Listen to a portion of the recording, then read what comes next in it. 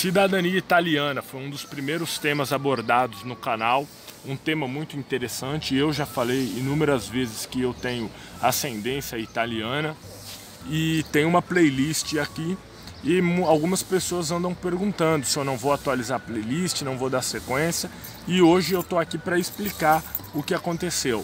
Acontece que enquanto eu fazia é, a playlist, houveram, né, fazia o conteúdo, é, até havia uma frequência grande de vídeos relacionados à cidadania italiana, houveram uma série de fatos novos com relação à cidadania. Algumas contestações ao que vinha sendo feito, entende? É, alguns casos esporádicos, algumas mudanças, é, não em lei, mas em alguns entendimentos, informações que não eram divulgadas passaram a ser divulgadas e por isso eu dei um tempo. O começo da pandemia, inclusive, atrapalhou um pouco assim a, a frequência de vídeos do canal. Eu demorei um pouco para me readaptar, né? E agora, graças a Deus, já consegui essa readaptação.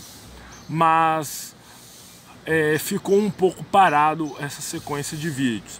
Então se você olhar, esse vídeo não está nem na playlist da cidadania italiana, porque é apenas um informativo. Então o vídeo de hoje eu achei importante apenas, de repente, você que está conhecendo o canal, saber um pouco disso com relação à cidadania italiana, que é muito interessante.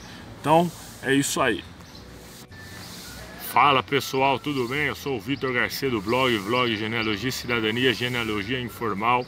Minhas redes sociais estão na descrição. Espero que você tenha gostado do vídeo e deixe sugestões aí nos comentários. E se você quiser saber um pouco mais sobre informações não só da cidadania italiana, mas sobre genealogia em geral, se inscreva no canal aí que tem muito vídeo, tá bom? Valeu!